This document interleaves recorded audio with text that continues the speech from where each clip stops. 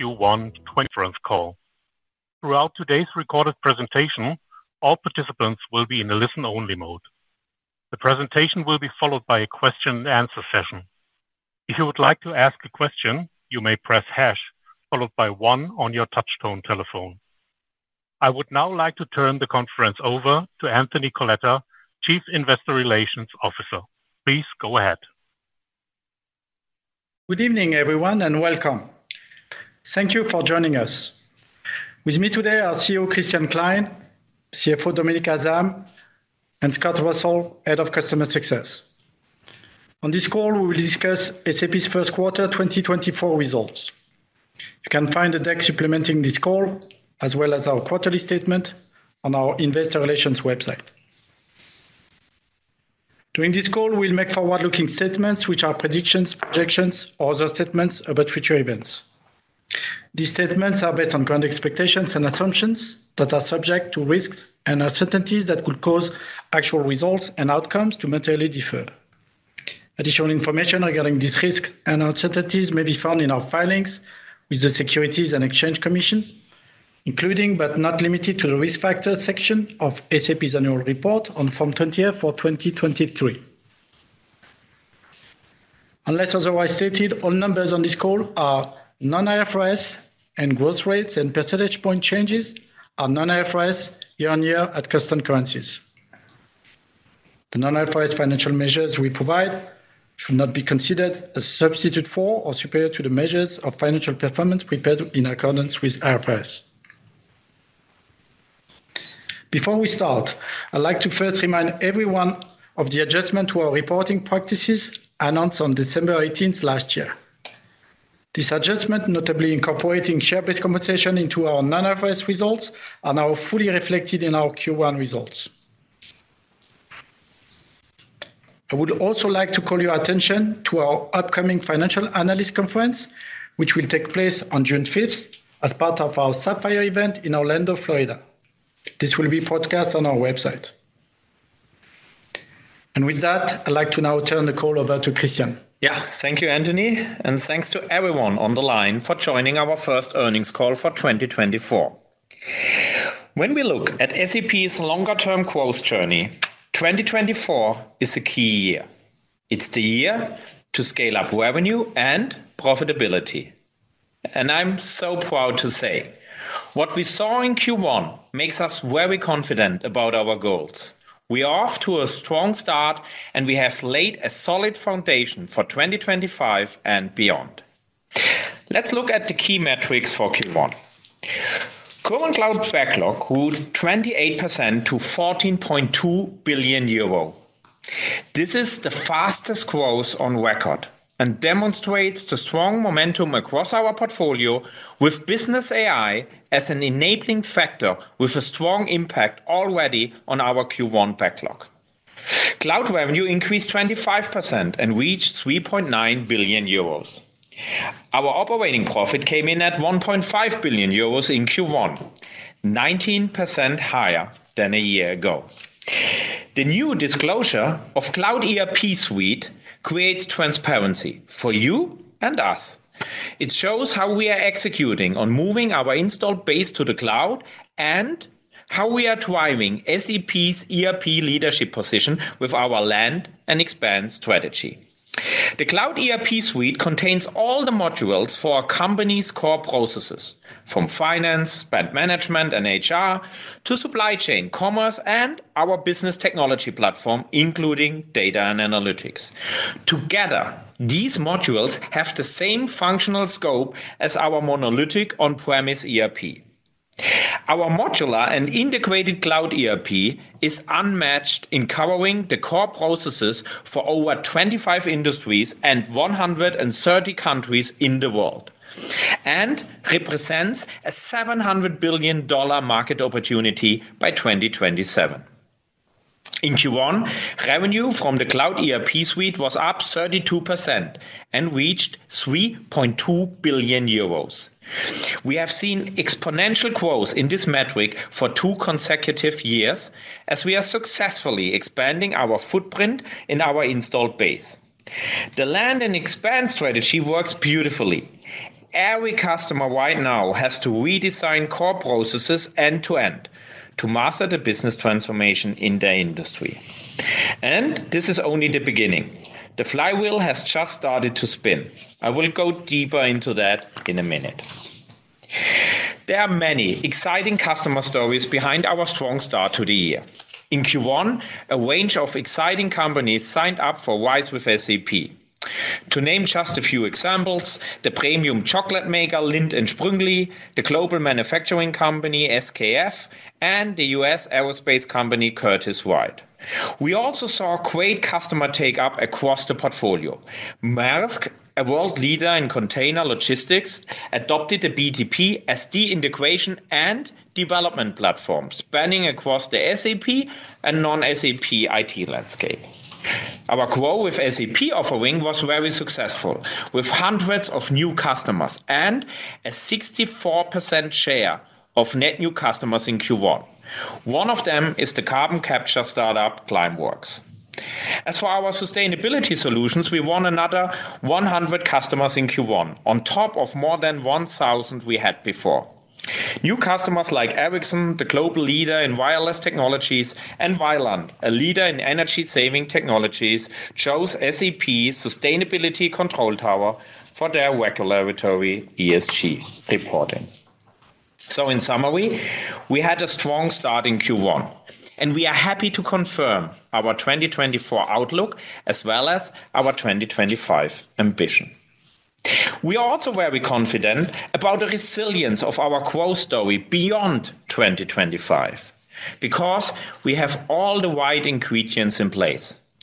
Our three growth drivers are RISE with SAP as the leading transformation offering for our installed base, GROW with SAP for net new customers, smaller subsidiaries, and acquisitions, and the innovations we delivered and we will release in the upcoming years, above all, Business AI. Let's first look at RISE with SAP. Our installed base is large, with over 11 billion remaining support revenue to be converted to the cloud, typically by a factor of around 2 to 3. On top, the 700 billion cloud ERP market offers significant cross-selling opportunities, and I have no doubt that SAP's integrated best-of-suite capabilities will win in the core business of our customers. As part of RISE and via the Clean Core journey, SAP and our ecosystem will help our customers to remove their ERP custom code and instead develop integrated ERP extensions on BTP.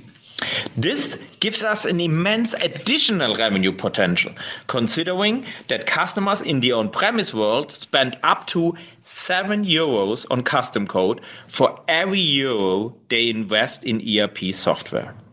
Customers like Hitachi High-Tech, for example, reduced the number of custom code add-ons by over 19%. RISE has just become the de facto standard for our installed base.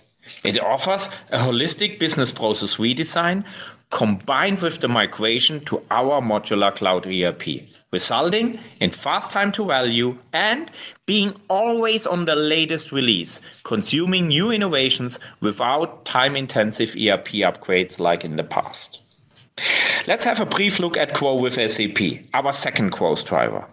As SAP's greenfield cloud ERP offering for net new customers or new business units of large enterprises, GROW delivers go-lives in weeks for every business model in every industry in every country. With our ERP solution, SME customers can grow and scale their business without migrating to a new ERP. Ultimately, RISE and GROW offer customers similar advantages: innovation, modularity, scalability, and integration. Coming to the third driver of our growth, which is innovation, with Business AI at the core. SAP Business AI will once again transform how businesses run and how end users will work in the future. At SAP, we infuse Business AI across our portfolio. First of all, Joule will be our new user experience via natural language, our one front end. We have based our Joule roadmap on an analysis of the most frequent business and analytical transactions of our end users. This way, we make sure that the most heavily used transactions will be fully AI-enabled by the end of this year. Second, we are embedding GenAI directly in our cloud products. Since Q4, we have released over 30 new AI scenarios across our cloud portfolio. Additional ones come out almost every week, with more than 100 in the pipeline for the remainder of the year. Third, our customers, partners, and SAP can use the AI foundation on the BTP, including the GenAI Hub, to build custom AI scenarios. Over 60 ecosystem partners are taking advantage of these capabilities already and working on over 80 use cases right now. Among the over 27,000 customers already using our Business AI is ZF Friedrichshafen, a leading automotive supplier. ZF is lifting significant financial value by optimizing demand and supply chain planning with embedded AI. Together with our partner NVIDIA, we are currently building new GenAI capabilities. One use case will revolutionize how software will be developed in the future. Jensen and I are looking forward to telling you more about this partnership at Sapphire. Commercially, customers can buy SAP Business AI as consumption-based AI units, which can be used across the entire portfolio, or via our premium RISE and GROW offerings that include AI units, so customers can get started right away. Both commercial offers have already seen high demand, and many Q1 deals were influenced by SAP Business AI. Overall, we offer a unique value proposition versus the competition with three elements. SAP Business AI works out of the box. For their own GenAI-enabled extensions, customers and partners have full choice which leading model they want to use, including modules from OpenAI, Google, the best open source alternatives, or using their own modules. An SAP Business AI comes with our leading enterprise standards and is deeply integrated with our data and security module. In summary, we had a strong start to 2024, and we are confident we will achieve our goals for the year. Looking ahead, we have powerful growth drivers in place and many innovations in our R&D pipeline. The strong development of our cloud backlog is a testament to that momentum. With regard to our transformation program, we are making even better progress than expected, especially with hiring new talent for future-oriented areas such as AI. The program will help us to capture growth and increase efficiency at the same time, among other things by pushing the internal use of AI. We expect a triple-digit million amount in efficiencies from embedding AI across all our processes. Equally important for us as an employer, wherever SAP colleagues are affected by restructuring, we are moving with care and empathy, always aware of our social responsibility. And with that, I'm handing over to you, Dominik. Thank you, Christian, and thank you all for joining us this evening. Let me start by echoing Christian's sentiment that the fundamentals remain exceptionally strong. March marked my first anniversary as SAP CFO, and I consider myself very fortunate to have joined the company just in time with the business in pole position to capitalize on the tremendous AI opportunity lying ahead of us. The hard work of the prior year starts to pay off handsomely, also for those investors who kept the faith in the company during these turbulent times. It is because of the dedication of our workforce that we continue to experience strength across the business. Our solutions are becoming increasingly differentiated, demonstrated by continued revenue growth throughout the world, expanding cloud gross profit, and improved cash conversion. We've kept the promise and walked the talk, setting the stage for sustained growth in the coming years. Fiscal year 2024 is already off to a strong start. We continue to build on our robust foundation, as evidenced by the impressive growth of our current cloud backlog and continued momentum of our cloud revenue. In addition, non-IFRS operating profit showed significant double-digit growth, even when including stock-based compensation. Our key priorities, including our investments in business AI, demonstrate our commitment to leading the charge in this new era of business transformation and exemplify our relentless drive for growth and operational excellence. The company-wide transformation program we initiated in January is progressing well, focusing on enhancing our operational efficiencies and setting the stage for improved financial performance. We are also deploying our own AI solutions internally as a powerful lever to drive productivity. Digital transformation is imperative in today's evolving landscape, and SAP remains the partner of choice.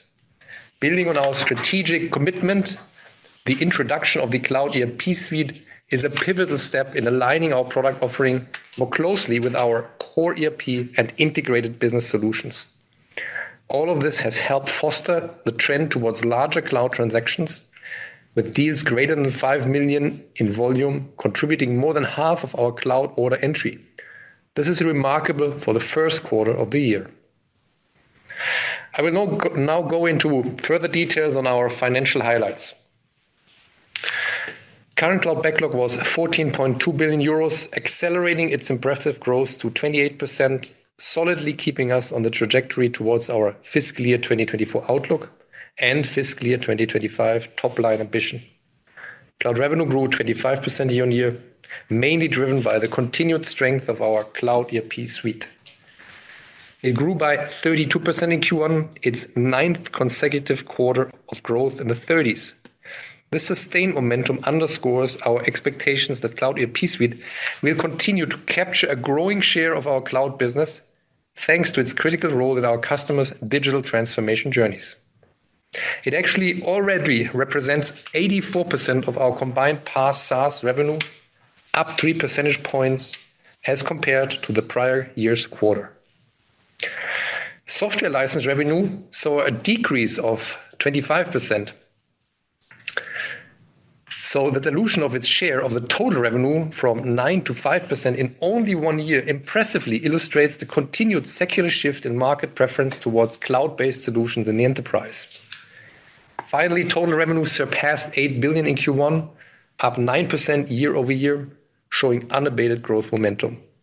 Now, let's take a brief look at our regional performance. In the first quarter, SAP's cloud revenue performance was particularly strong in APJ and EMEA and robust in the Americas region. Brazil, Canada, Germany, Italy, the United Arab Emirates, India, and South Korea had outstanding performances in cloud revenue growth, while the U.S., Japan, and Spain were particularly strong. Now, let's move further down the income statement. Our cloud gross profit grew by 28%, driven by cloud revenue growth and further efficiency gains. This resulted in cloud gross margin improving from the year-ago period, expanding by 1.8 percentage points to 72.5%. IFRS operating profit in the first quarter was impacted by 2.2 billion euros of restructuring provisions associated with the transformation program initiated in January. This resulted in an IFRS operating loss of 787 million. This accrual represents the vast majority of the total restructuring expenses we currently expect to incur in the context of the program. The amount is closer to the upper end of what we had anticipated initially, which is primarily driven by the strong share price performance in the first quarter and the higher-than-expected acceptance rate of the early retirement program in the U.S. We continue to be in the very early stages of executing the program, which we expect to be concluded by the beginning of 2025, and projected expenses are based on preliminary assumptions.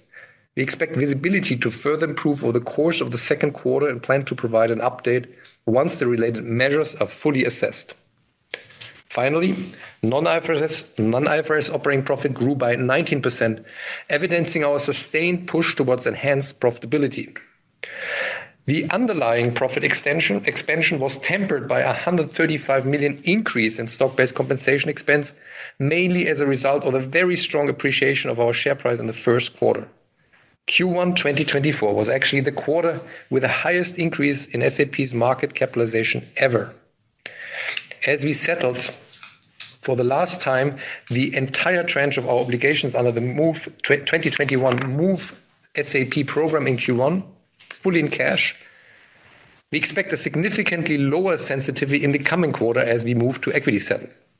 Therefore, the non-IFRS operating profit outlook is reaffirmed for the full year 2024 despite this headwind. Non-IFRS earnings per share in the quarter increased 8% to 0.81.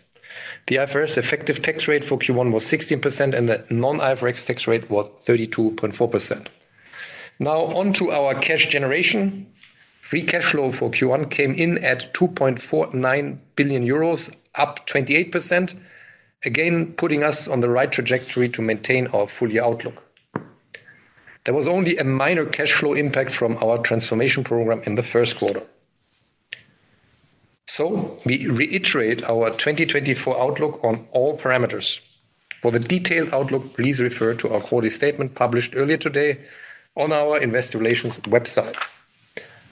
In summary, Q1 marks a strong start to the year, highlighted by continued growth in both our current cloud backlog and Cloud ERP Suite. Business traction combined with focus on execution is positioning us well to meet our objectives for the remainder of the year. Before we open it up to Q&A, I would like to say that we are very much looking forward to welcoming you to our financial analyst conference in June. As already mentioned by Anthony, it will take place in conjunction with Sapphire in Orlando, and the team and I are very much looking forward to meeting you there in person. So thank you, and we'll now be happy to take your questions. Operator, please open the line. Ladies and gentlemen, at this time, we will begin the question and answer session. Anyone who wishes to ask a question may press hash followed by one on their touch-tone telephone. If you wish to remove yourself from the question queue, you may press hash followed by three. If you are using speaker equipment today, please lift the handset before making your selections. Anyone who has a question may press hash followed by one at this time. One moment for the first question, please. And there it already is. The first question is from the line of Toby Ogg with uh, J.P. Morgan Cazenove Limited. Go ahead, your line is open. Yes, hi, and um, thanks for the question. Perhaps just sort of taking a step back on the margin side, clearly clearly there's a big step up in the margins um, embedded in your 10 billion EBIT guidance for 2025. And I know, Dominik, you talked at Q4 about the potential for continued uh, margin expansion beyond 2025. And I know that the Rule of 40 is something that's being discussed in the market and Uh, when looking at the software ecosystem. Could you perhaps just give us a sense for how you're thinking about uh, the Rule of 40 and whether this is something you think SAP could achieve? Thank you. Well, I mean, the Rule of 40 is simply an observation if we do benchmarking with our core competitors and we look at the median or the average, it doesn't actually matter. Um, you see that that's what they trade at. Um, the stats show us that for 2023, we are at 25%. If you combine our free cash flow to sales margin plus the growth we achieved in that year. And uh, if you do, if you look at the midpoint of the ambition or the ambition 2025, basically, you see that would kind of bring us a little bit more than half the way towards that. Now, the rest is really much, very much dependent on how much can we accelerate revenue growth. Um, this is why we highlight again and again the revenue mix improving. Um, I highlighted 84% of the SaaS PaaS revenue is already in Cloud ERP Suite, which is kind of running at 30%+ plus growth rates on a year-on-year basis. Uh, we also highlight that the strongest headwind, the decline in the software business, is becoming smaller and smaller. It's now down to 5% of the revenues, though the fundamentals are actually there to support strong revenue growth. And then, of course, there is also some improvement in margin. Um, we said that we want to clearly scale the cost base, not at the same growth rate as revenues. But again, we look at benchmarking and see that our core competitors achieve between 80%-90% growth of the cost base versus the revenue base. That's that's an indication of the kind of ballpark we aim at with our transformation program. And now then you can basically play the math of rolling these numbers forward to see how long it will take us to come to that Rule of 40, which, by the way, we have no idea where it will be five, 10 years down the road because, of course, um, our competitors will also not stand still. But that's the way I can describe it. So don't take it like as a guidance that we can get there at any specific given quarter. but obviously, um, we have to acknowledge that this is where the market is running, and this is a little bit of the North Star we have on top of our head. And I think with the measures we are taking um, now to really, A, kind of cover more than half of the gap we currently have, and a b to accelerate growth and also to grow cost more slowly than revenues, we have the ingredients to gradually move towards the target. That's great. Thank you. Thank you, Toby. We'll take the next question, please. The next question comes from the line of Adam Wood with Morgan Stanley. Go ahead. Your line is open. Hi, good evening. Thanks for taking the question. Um, I wanted, first of all, just on the AI side, um, if you could help us a little bit around um, how that's being monetized today. Is this more that customers are accelerating the shift to S/4 because they want to take advantage of the tools that will be available there in the future? Or actually, are you starting to monetize already that Business AI feature and charging directly for that?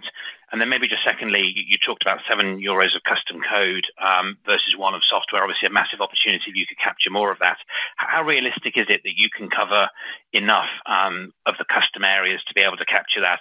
Or is this more monetization of the platform as companies and partners develop on a BTP? Thank you. Uh, thanks a lot uh, for the questions, uh, Adam. I mean, on AI, um, first, when you look at the commercial model, we actually included some Um, standard AI use cases for automation of repetitive tasks in our base packages. On top, of course, we have now we are delivering more and more GenAI models, which also require high computing power. And you know, I talked about Joule.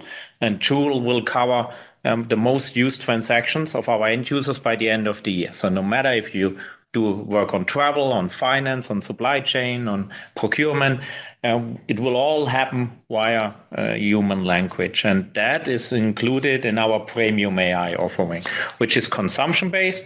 We package it, some AI units already in our RISE and GROW packages, and that is actually running extremely well. And on top, of course, you can also, of course, consume uh, Business AI by, of course, you know, buying more consumption packages of our offerings. And um, with regard to the adoption, I mean, the way how it works, uh, Adam, is, of course, Joule will become the de facto user experience front end for our end users. Second, when you are then talking to the customers, what we are already doing, uh, they will you know, use our GenAI scenarios for asset management, you know, for manufacturing, for shop floor automation, for more personalization of their offerings, of their services, of their products via our configurator.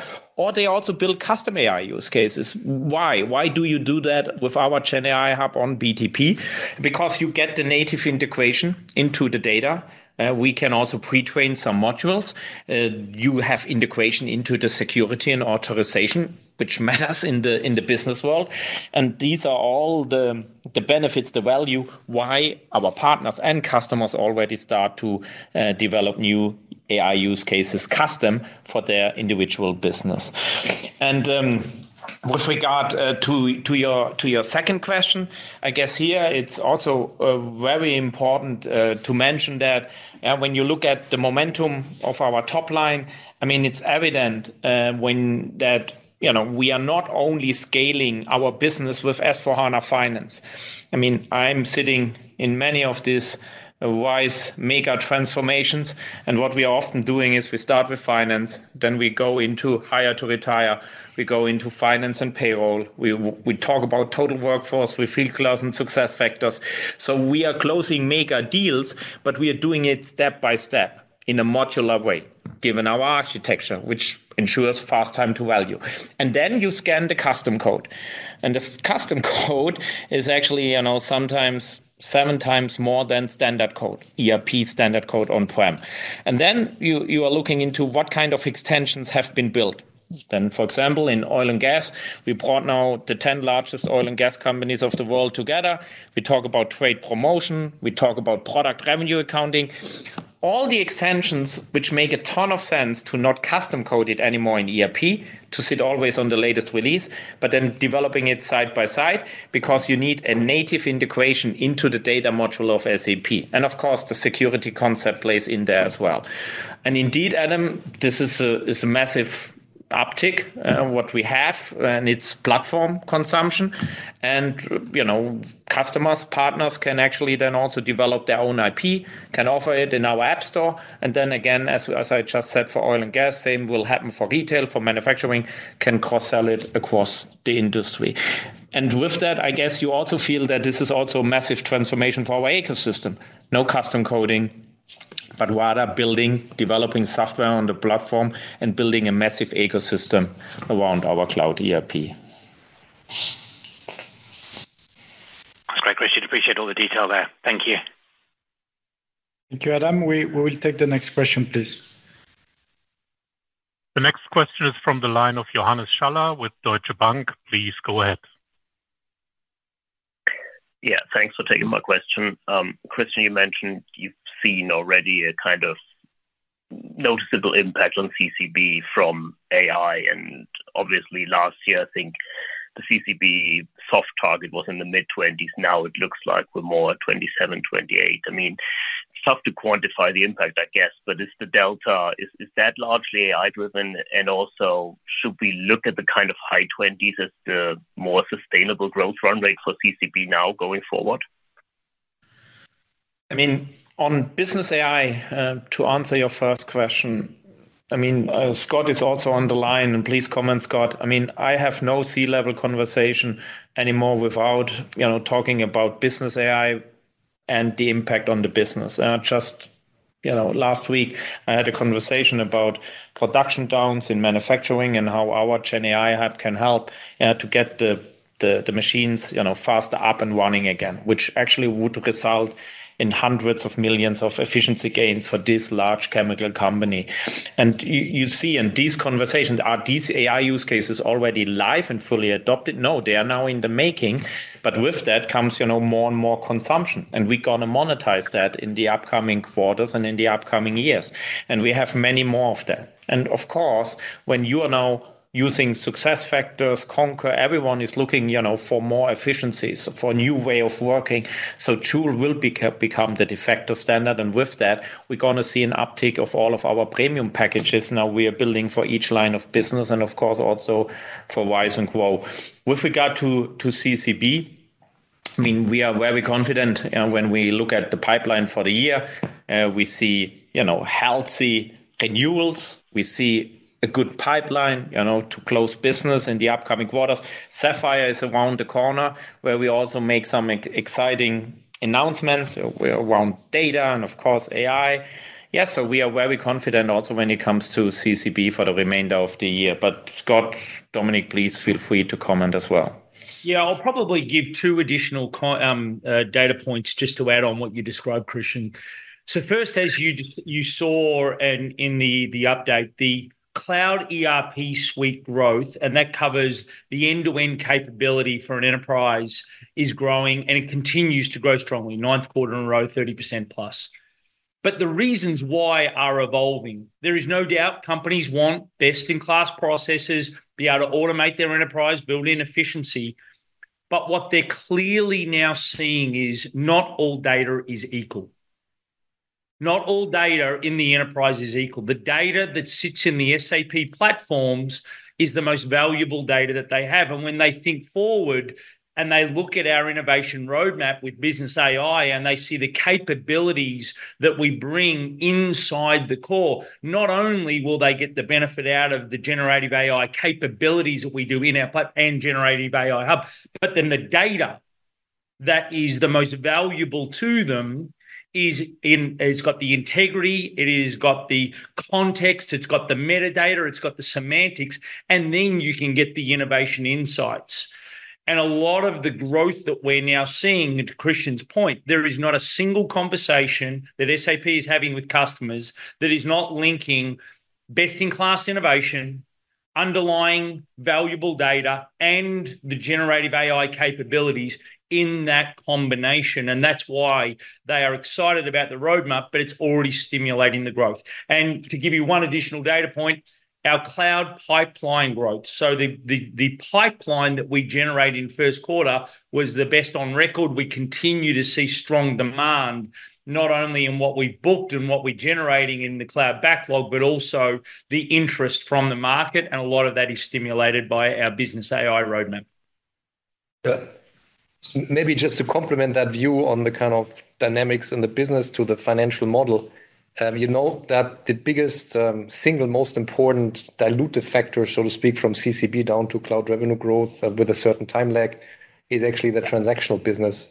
Uh, this is now um, kind of stagnating. It's actually very, very slightly even decreasing. The macro isn't great.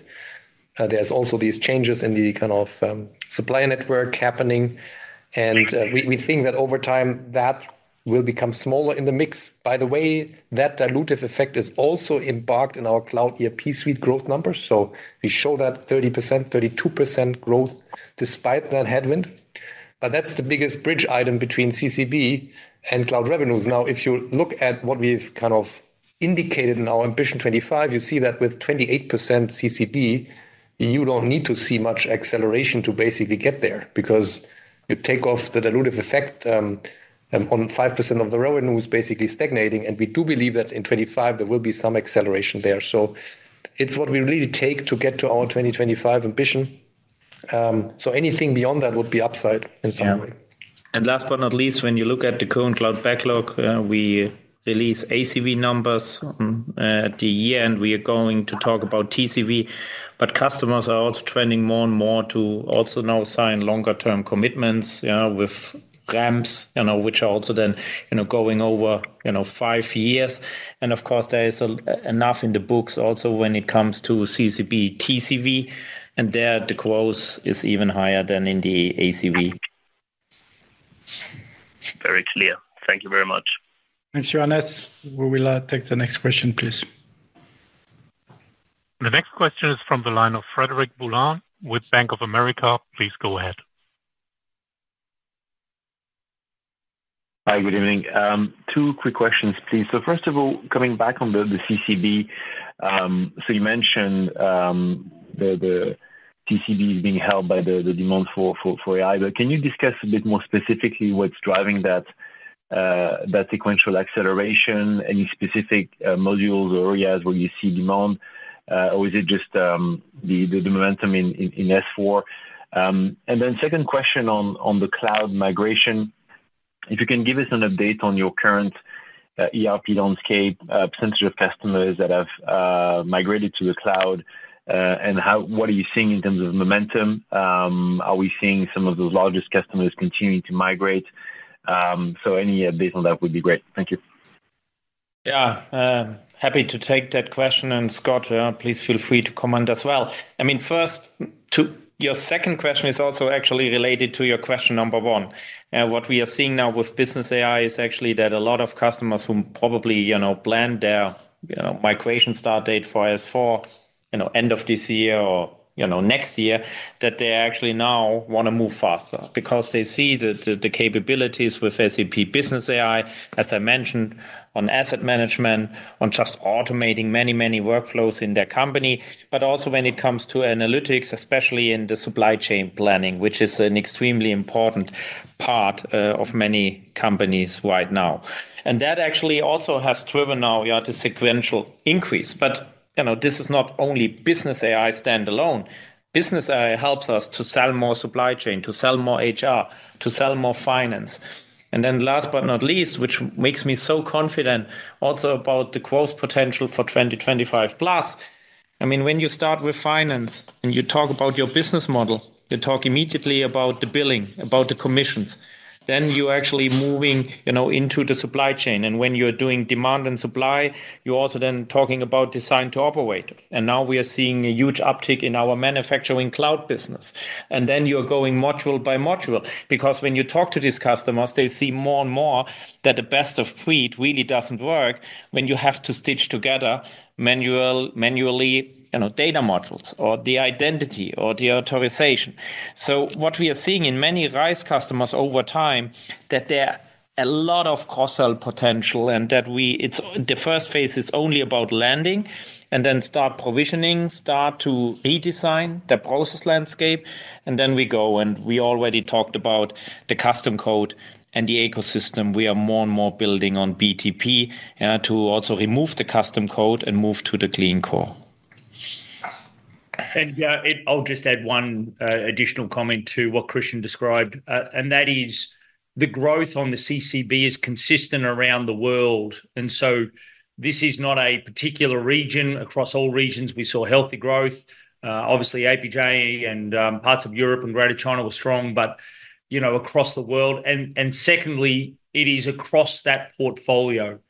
People aren't doing a move only. They're doing a move and transform, and that requires those extended capabilities. And if I just link it back, if you've already got the data architecture of SAP and it's the most valuable, then you can do so many more things, not only AI-related, but also innovation-related that you can do in your business. So it is definitely means that our short, mid, and long-term growth has, um, you know, it's definitely got confidence based on the capabilities, the innovation roadmap, but also the buying signals that we see from the market here and now.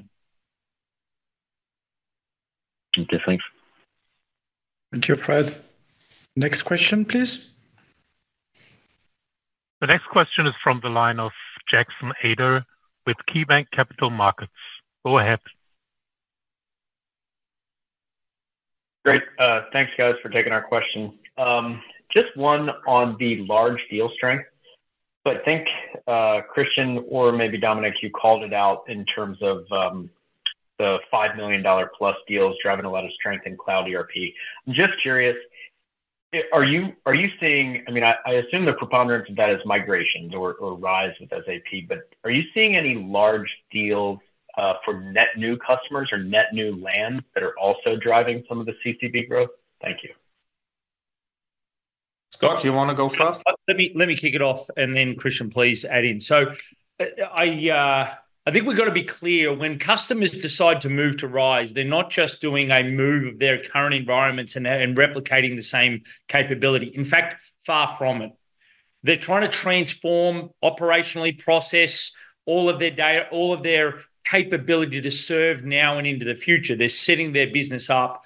And so when they look at these, which is why, to answer your question, the larger deals are because they look at a multi-year roadmap of capability transitioning from a uh, an older state, including non-SAP. So what we see is many situations where our customers will say, "Okay, I might be using SAP for core finance, but I'll then extend, i.e., ERP suite, the other capabilities, and then we're able to have a competitive displacement." That happens on a regular. So whether you look at the SKFs, the Curtiss-Wrights, and the others that Christian mentioned in his opening, and you see the chart of all the other RISE customers, they're nearly always bringing the BTP, which is displacing other technology platforms and using that as the innovation platform. They're using other extension, whether it be our Ariba Concur SuccessFactors to be able to provide its people its uh, spend. So yes, we are seeing that, but then the compelling event is obviously an initial move and then a multi-year journey when they're on a large deal, which makes up a big portion um, of the uh, the Q1 results that you see. Maybe to shed some more light on top uh, on the numbers is, I mean, what you also see with RISE, uh, it's not only that we are landing, of course, and converting maintenance with a factor of 2 to 3x to the cloud.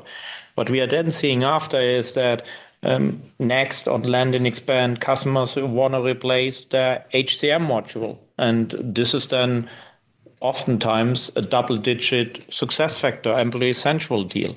Needless to say, payroll is a massive business, which we are also more and more now shifting to the cloud. So there are you know, a lot of cross-sell, large cross-sell opportunities after we landed with RISE.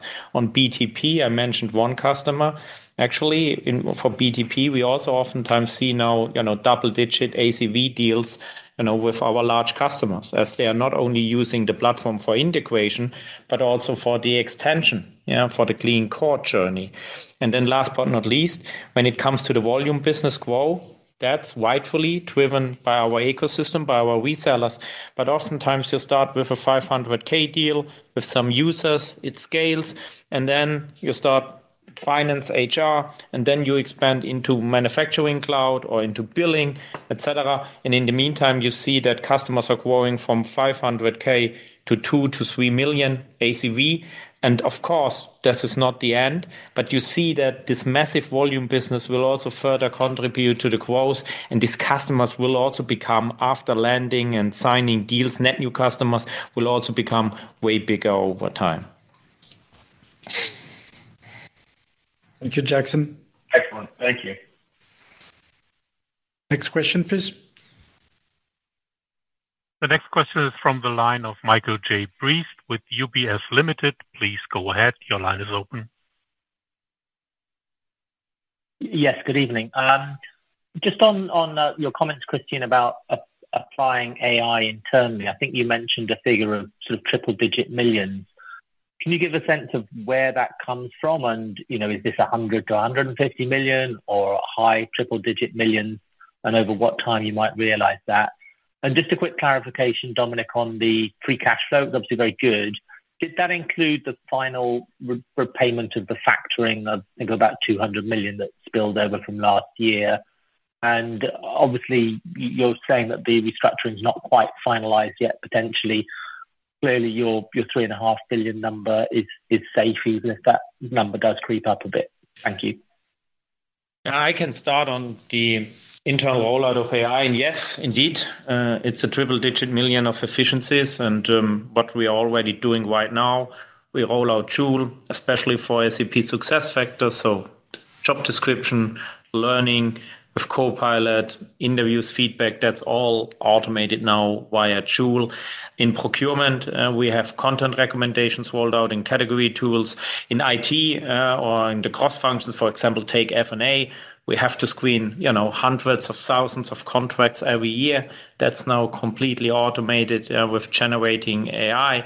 In Scott's world, um, in the sales world, we actually also use now AI for content generation, for demo, demo for actually for the business case creation, which saves a lot of time. So we are rolling out AI ah, development, of course. Uh, we have uh, GitHub, but then also we are using our own SAP Build automated code generation tool, for example, for ABAP. And if you think about that, we can you know increase the productivity of each developer by up to 30 to 40 percent already this year by our own SAP Build solution. And also by GitHub, you can imagine you know, the scale uh, and the efficiencies we are going to generate in the years to come also by applying AI internally. Dominik? On the free cash flow side, um, you asked about the kind of discontinuation of the factoring. I would say um, it was, yes, partially, not fully, because there, there are some deals which might span longer term, but we basically um, in 2024 discontinue this practice. So we already see a part of the roll-off. I want to highlight, though, that uh, the bigger uh, thing, so to speak, in Q1 still is that we paid the fines, and the famous 0.2 billion on DOJ um, and other authorities. So that was weighing um, in Q1 and is already digested. So we are also very pleased with the free cash flow performance in Q1. Thank you, Michael. We'll take the next question, please. The next question is from the line of James Goodman with Barclays Capital. Please go ahead. Great. Thank you very much. Um, Maybe with investor focus, I think increasingly shifting um, beyond 25 Now, I wanted to come back just to some commentary around the the transition at a high level and specifically sort of framing that in a financial sense. The maintenance base that that still remains in the business today, I mean, can you help us a little bit with just how much of that really needs to to, to, transition to cloud? I mean, I'm conscious that there was sales, for example, of S/4 before the RISE program, for example, came in. Um, and really then just when does that substantially need to be done by, given the 2027 deadline, but also the extended support period beyond that? So so just how much of the base really and over what period? And just a related second question, just just around the services business, only growing 1% this quarter. I know it's a slightly tougher comp, but given given the demand for um, you know implementation work and such like here around S/4, I might have expected that to be a little higher. Are you expecting it to pick back up, or is there a structural reason that remains lower? Thank you. Sorry, No, I was focused on the services. The first one was the. Um, the uh, Sorry, just, the, maintenance. the maintenance. Uh, excuse me. Okay, so maintenance. Um, a little bit more than half of our um, 11 billion maintenance base we have today is in products which um, go out of um, regular maintenance um, by end of 2027. Um, and then the question is how much of that will still not convert to cloud, but will go to extended maintenance at, a higher cost. Uh, so that's that's the the parameter, and I think it's safe to assume that the lion's share of all that by 2030 will in some fashion disappear because we will not, as we say so many times, prolong maintenance on these products. Course, the rest being on other products, um, also of course on S4, which you know has a kind of uh, lifetime through 2040, so there's ample of room there. But uh, indeed, there there is an anticipation that um, there will be an acceleration in conversions from that angle as people need to transition from ECC uh, to cloud, um, given what I just described.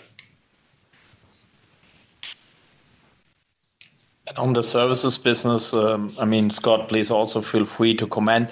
I mean, look on on services. First of all, um, we are delivering 90% of our projects via ecosystem and um, you know the remainder the 10% share of course what we are doing there yes there was some seasonality uh, with the easter holidays now in q1 we had some uh, one-timers last year in q1 but in a nutshell you know of course this business will of course continue to also show growth going forward. And what is very important with regard to our services business, what we are focusing is more on the high margin services, like when you're going in into a RISE deal, you need a great architect yeah, who connect the process, the system, and the data layer to drive this holistic transformation. Then we have the best process experts. Yeah, when you talk about business model transformation, when you talk about design to operate, obviously, of course, our consultants need to be leading and also sharing best practices of other customers, while, of course, main parts of the technical migration of the technical consulting will be delivered uh, by by our ecosystem rightfully delivered by our ecosystem yeah. I just wanted to add one thing on the uh, back onto the support revenue that uh, that uh, Dominik described.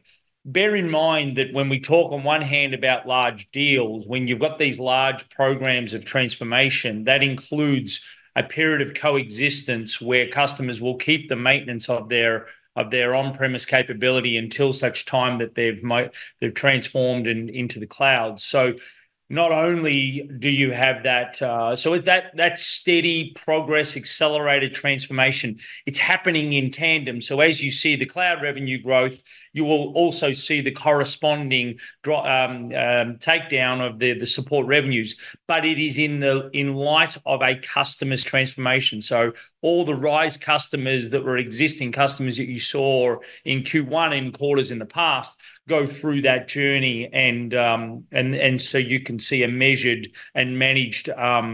Uh, downgrade of the uh, the support in light with the uh, the cloud lifting in correspondence. And maybe one word regarding the maintenance, because I guess yeah, this is an important factor in all the modules, in all the models. I mean, look, there, there are certain parts of an ERP, as I also mentioned at the beginning, it's a monolithic ERP architecture. And in there is, for example, also a BW system. And for example, a BW system is not so easily replaced. There's also a lot of custom code built. It's a massive reporting engine.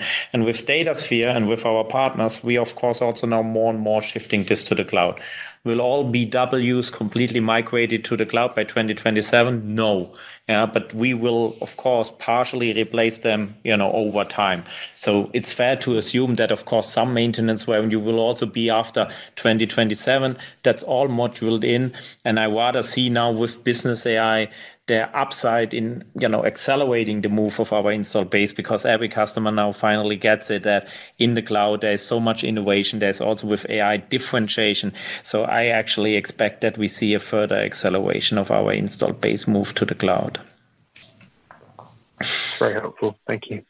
Thank you James. We have time for two more questions so we'll take the next one please the next question is from the line of Mohammed Moawalla with Goldman Sachs International. Please go ahead.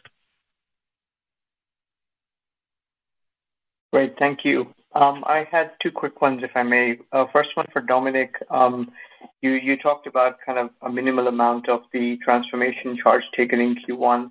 How should we think of the phasing of that over the course of the year? You know, and I kind of uh, understand that you're still kind of in discussion with kind of affected employees. Um, and uh, how should that kind of phase through the course of the year?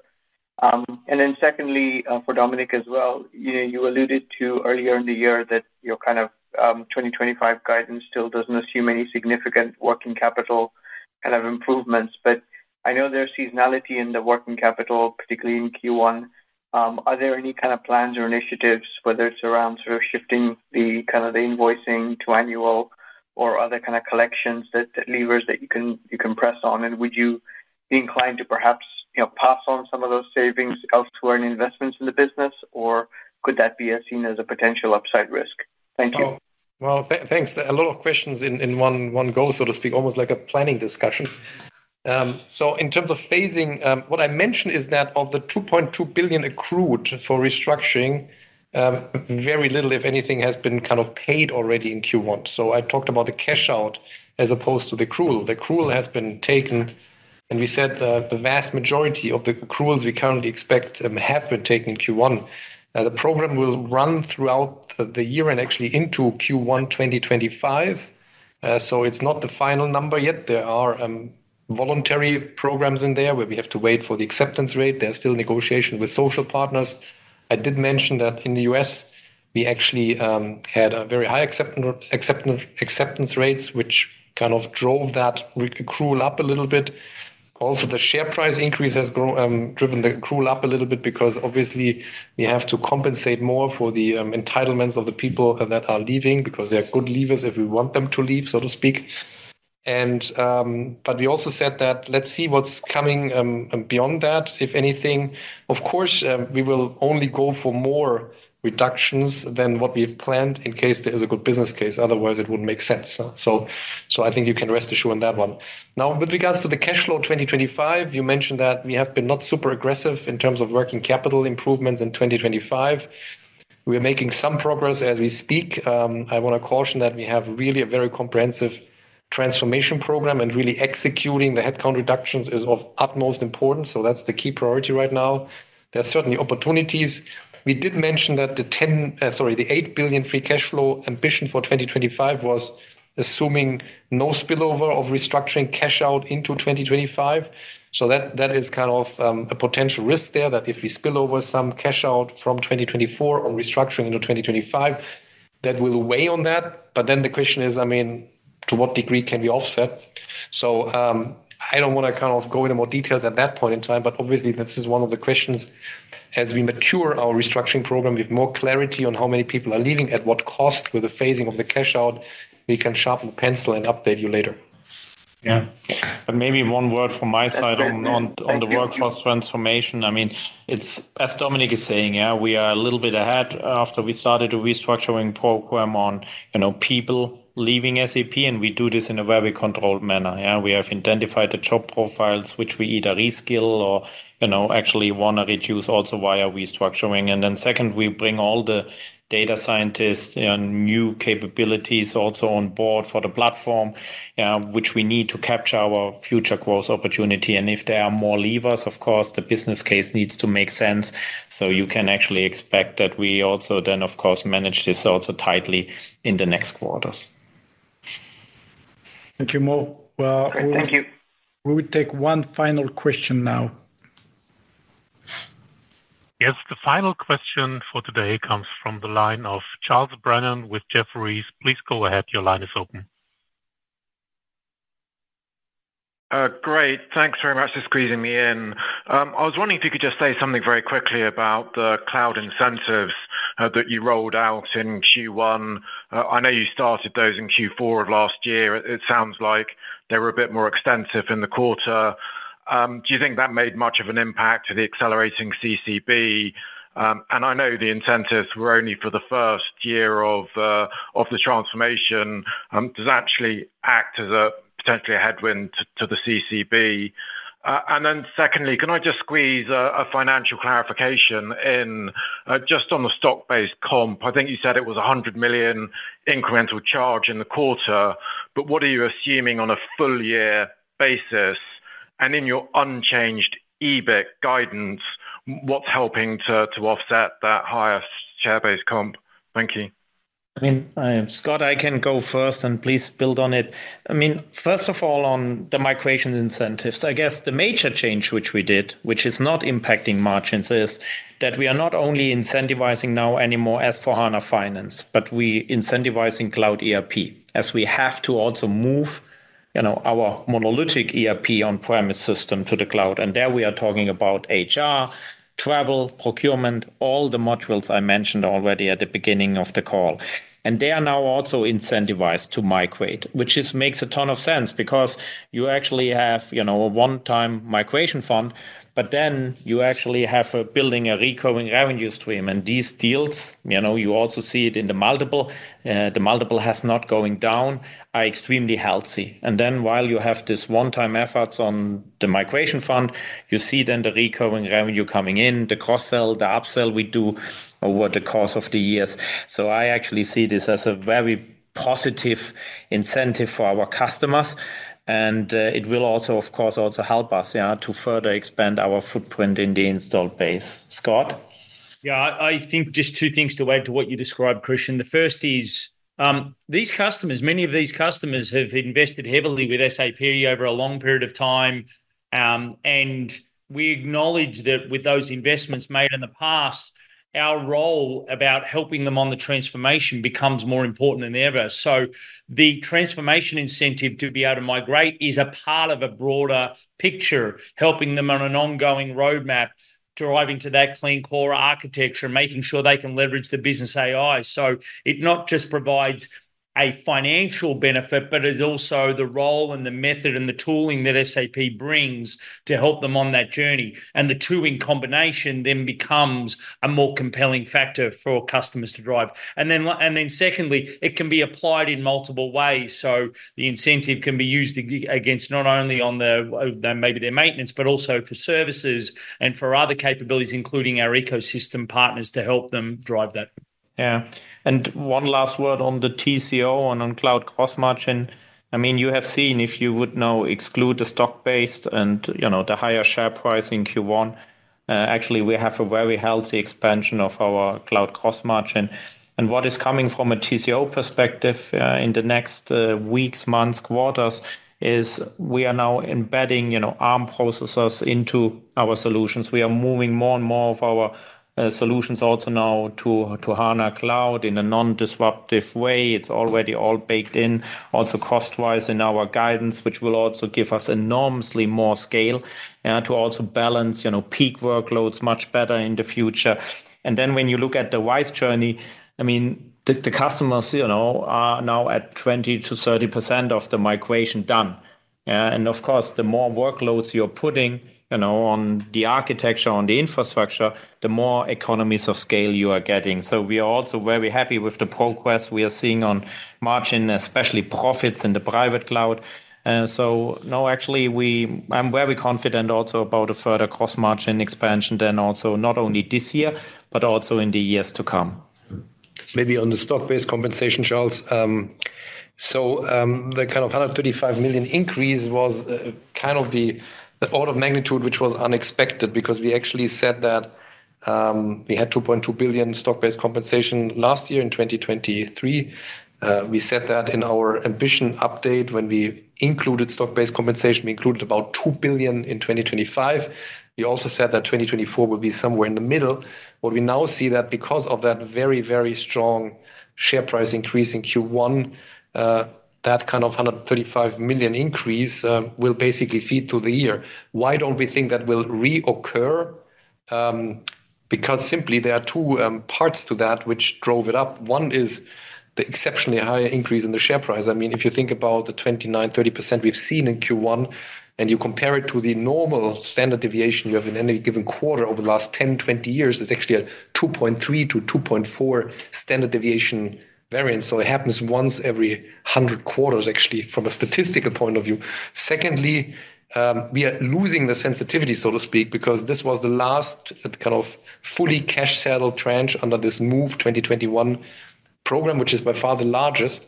And as we move to more equity settled, which is not flowing through the P&L, we don't expect that sensitivity to stay so high. So now, yes, uh, we did compensate to a certain degree in our guidance, and that's simply that we kind of grind on all corners to see how we can make up for that because we don't want to kind of be burdened by that, but compensate. It also demonstrates how important it is to embark stock-based compensation in the overall equation. It's a real factor, and actually, it becomes more and more valuable the better the company performs. So from that perspective, I think it was the right decision to make sure we manage it holistically, the cost base, including stock-based compensation. Thank you, Charlie, for your question. And thank thanks, Dominik. Thanks, Christian, Scott, and Dominik. And we will conclude the call for today. Thanks for joining. Thank you. Thank you. Bye-bye.